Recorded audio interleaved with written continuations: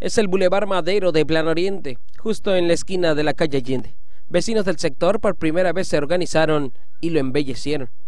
Aseguran que desde ese tiempo habían buscado trabajar en equipo, pero por diferentes motivos no se lograba laborar. A fines de año, el objetivo se cumplió y una reunión vecinal logró que cada quien aportara el trabajo. Con llantas recicladas, macetas, diversas plantas, listón, cal y pintura, crearon diversas figuras en pro de la imagen urbana. Asimismo, la limpieza de la calle frente a los hogares es otra de las acciones que realizan con el fin de darle un cambio a la colonia.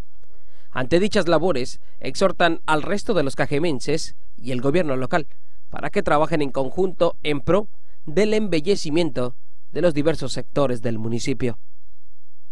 Con imágenes y edición de Manuel Bracamontes, informó para las noticias Alejandro Rom.